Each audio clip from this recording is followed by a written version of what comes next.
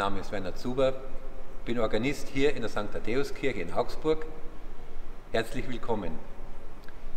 Als Stück spiele ich eine Improvisation zu der alten gregorianischen Melodie Ubi caritas et amor Deus ibi est. Wo Güte und Liebe wohnen, dort ist Gott.